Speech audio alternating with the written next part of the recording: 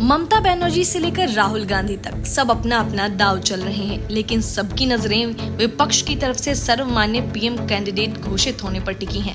बंगाल में तीसरी बार चुनाव जीतने के बाद ममता बनर्जी ने विपक्षी पार्टियों से सिलसिले में बातचीत शुरू कर दी है इसके पहले शरद पवार दिल्ली आकर कुछ इसी तरह का खेल कर गए थे राहुल गांधी तो जमाने से पीएम इन वेटिंग है, लेकिन दिलचस्प ये है कि ममता बनर्जी के दिल्ली पहुँचते ही संजय राउत ने ऐसा सुर्रा छोड़ा कि ममता बनर्जी का सारा मज़ा ही किरकिरा कर दिया। संजय राउत ने कहा कि महाराष्ट्र के सीएम उद्धव ठाकरे देश का नेतृत्व करने के लिए बेहतरीन नेता हैं। अब सवाल यह है कि विपक्ष की तरफ़ से ऐसा कौन सा चेहरा होगा जिस पर सभी पार्टियाँ एक मत हो जाए।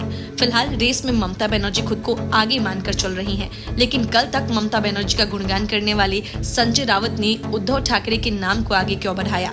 विपक्ष की सियासत का एक चेहरा संजय रावत के बयान के पीछे छुपा हो सकता है। माना जा रहा है कि संजय रावत ने यह बयान शरद पवार के इशारे पर दिया हो, जो आसानी से ममता बनर्जी को अपना नेता मानने से रहे।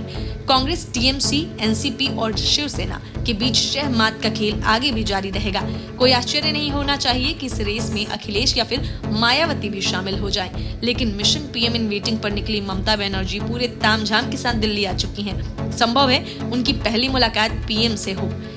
राष्ट्रपति रामनाथ कोविंद से ममता बनर्जी के मिलने का कार्यक्रम है। तृणमूल कांग्रेस प्रमुख 2024 के लोकसभा चुनाव से पहले राष्ट्रीय स्तर पर बड़ी भूमिका निभाने की तैयारी में हैं। पश्चिम बंगाल में लगातार तीसरी बार सत्ता पर काबिज होने वाली ममता बनर्जी का विधानसभा चुनाव में जीत दर्ज करने के बाद यह पहला दिल्ली दौरा है बनर्जी का कांग्रेस अध्यक्ष सोनिया गांधी के अलावा कमलनाथ आनंद शर्मा और अभिषेक मनु सिंधवी समेत अन्य कांग्रेसी नेताओं से मुलाकात का भी कार्यक्रम है। संसद के मानसून सत्र के दौरान दिल्ली दौरे पर पहुँची ममता बनर्जी अन्य विपक्षी दलों के नेताओं से भी मुलाकात कर सकती है। इससे पहले ममता बनर्जी ने कहा था की प्रधानमंत्री ने उन्हें इस सप्ताह मुलाकात का समय दिया है।